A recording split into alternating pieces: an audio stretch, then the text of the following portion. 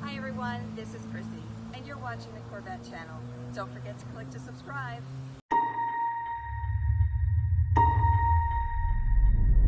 As the sum of each generation before it, the next generation Corvette stands alone. As the new standard of precision and performance, of engineering and technology, of everything that makes an icon an icon, and a Corvette a Corvette.